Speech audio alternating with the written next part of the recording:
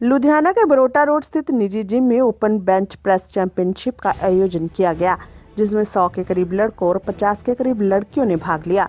जेतु खिलाड़ियों को इनाम भी दिए गए वहीं पर Gaurav Arora Asia powerlifting champion Punjab प्रधान का कहना था कि यह प्रोग्राम पंजाब की जवानी को बचाने के लिए जरूरी है तथा ऐसे प्रोग्राम नौजवानों को स्पोर्ट्स की ओर उत्साहित करते हैं ਜਿਸ ਤਰ੍ਹਾਂ ਕਿ ਅਸੀਂ ਸਾਰੇ ਜਾਣਦੇ ਹਾਂ ਕਿ ਪੰਜਾਬ ਜਿਹੜਾ ਆ ਨਸ਼ਿਆਂ ਦੇ ਦਰਿਆ ਵਜੋਂ ਜਾਣਿਆ ਜਾਂਦਾ ਪਰ ਉਸ ਦਰਿਆ ਨੂੰ ਖਤਮ ਕਰਨ ਦੇ ਲਈ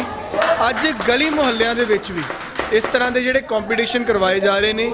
ਔਰ ਅੱਜ ਇਸੇ ਲੜੀ ਨੂੰ ਯਾਦ ਰੱਖਦੇ ਹੋਏ ਓਪਨ ਬੈਂਚ ਪ੍ਰੈਸ ਕੰਪੀਟੀਸ਼ਨ ਕਰਵਾਇਆ ਗਿਆ, ਜਿਸ ਵਿੱਚ 100 ਤੋਂ ਵੱਧ ਮੁੰਡਿਆਂ ਨੇ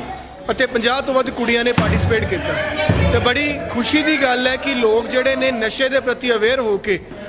ਫਿਟਨੈਸ ਪ੍ਰਤੀ ਜਾ ਰਹੇ ਨੇ। ਮੈਂ ਇਸ ਗੱਲ ਦੀ ਪੂਰੀ ਜਿਟਨੈਸ ਟੀਮ ਨੂੰ ਵਧਾਈ ਦਿੰਦਾ